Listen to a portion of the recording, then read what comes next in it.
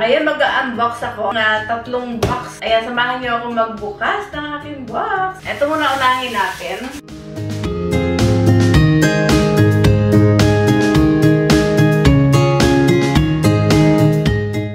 In-order ko, pang prito siya. Pahaba siya, hindi siya pabilog. Ito yung mga instruction. Ito yung suitable sa uh, kala namin na binili.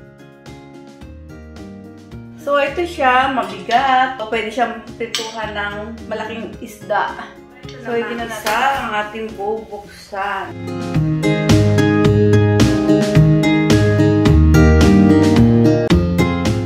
So, ito yung takip niya. Takip ng ating paglulutuan.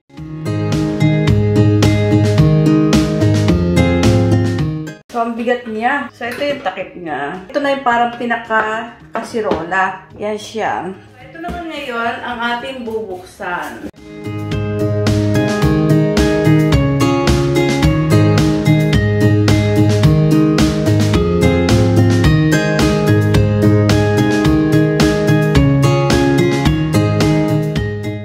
Bigat niya. Ayan, pwede siya isang isda na malaki na pwedeng.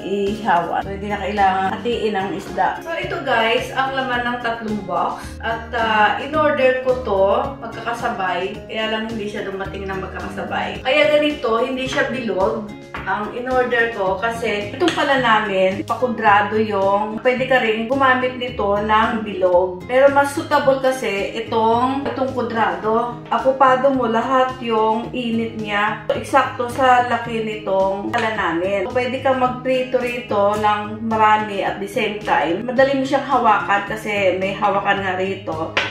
Uh, kahit puno siya ng pagkain, hindi siya matatapos. Ito hindi na kailangan ng mantika kung magpiprito ka nito. So, ganyan ang style niya kasi pag pinato mo dito sa kala na to, ay kung ano lang yung laki ng iyong paglulutuan, yun lang din ang, ang magkakaroon ng reflex dito sa... Pag halimbawa maliit naman ang kasirola mo, yun lang din sa maliit na kasirola siya mag-iinit. Pero pag malaki din yung gagamitin mo, malaki din yung init niya. And ito naman, mag-grilling ka. Kung mag-iihaw ka ng malaking isda, tamang-tama lang talaga siya. Imbis na bilog na kasirola, kudrado rin yung in-order ko kasi nga, pag magluto ng maraming pagkain, hindi na ako mahihirapan at hindi matatapon habang naghahalo. Ang laki ng space niya. At ito lahat magkakaroon ng init sa ilalim. So, na, ang ganda niya, mabigat siya. Maganda, makapal, at saka mabigat. So, maganda siyang gamitin. Kahit marami kang lulutuin, hindi siya matatapon. At meron din siyang takip.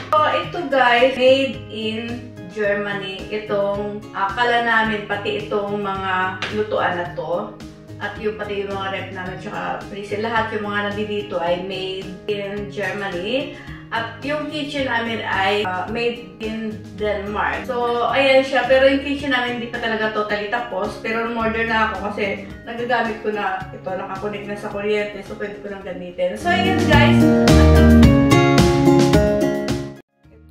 Kasirola at kawali na to hindi na namin magagamit kasi nga hindi na siya pwede doon sa aming bagong lutuan. Nagre-reklamo yung aming bagong lutuan dahil nga hindi daw to pwede sa kanya. Kaya ngayon, ipamimigay ko na lang ito. At yung iba iuwi sa aklan para magamit doon. Ang mga luma namin kasirola na hindi na po pwede talaga. Na tatlong kawali na yan, mga bago yan. Reserve sana yan. Kaya lang hindi na siya magagamit. So, ibigay ko na lang sa anak ko at yung iba iuwi ko sa amin. Aklan.